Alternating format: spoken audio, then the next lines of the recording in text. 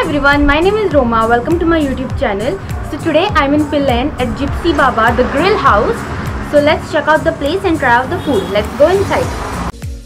This restaurant is located at Marra Pilerne, Goa. I shall put up a link to the Google Maps of this place in the description below.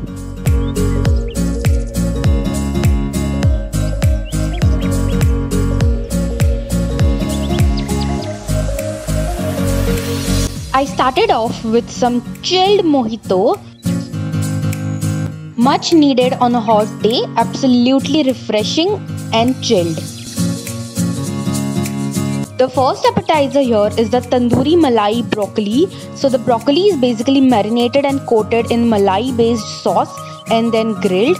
Taste wise, it was absolutely awesome, mouth watering and delicious.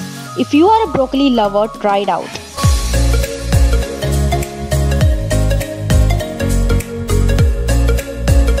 Next up is the chicken kali mirch tikka. I've had kali mirch in gravy form but never in tikka. The chicken here is super tender, well grilled, soft to bite into, and they also served some onion rings with it which went amazingly well together. Next up is the mutton galauti kebab which was served with a tamarind based sauce and onion rings.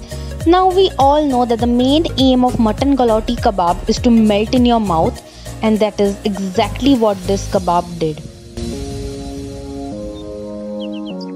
You don't even need to bite it, it just melts in your mouth. This is one of their best sellers from the menu, and I would recommend you guys to try it out. For main course, I tried some garlic naan along with mutton rara,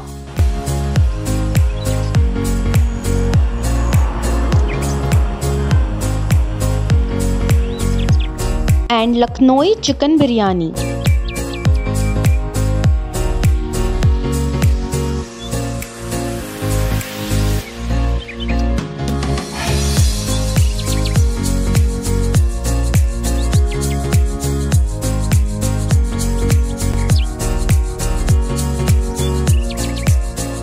The mutton rara had a very nice and spicy taste and I'm glad I chose a garlic naan to go along with it because this pairing was heavenly.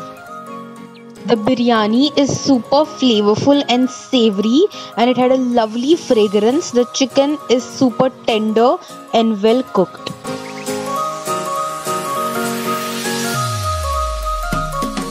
For dessert, I tried some zafrani beetroot halwa along with Mughlai firni.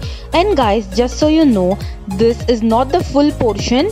I asked them to give me a little bit of both so I could show them in the video. The halwa had some pieces of nuts and cashews in it.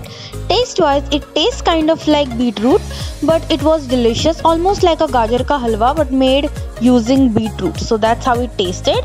It was really nice and tasty. The firni also had some nuts in it. It was creamy, well cooked. I really enjoyed the firni and it was served in a very cute little matki.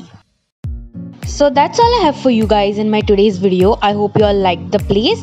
Do share this video with your friends and family. Do visit Gypsy Baba and please subscribe to my channel to show me some support and I'll be back soon. Bye.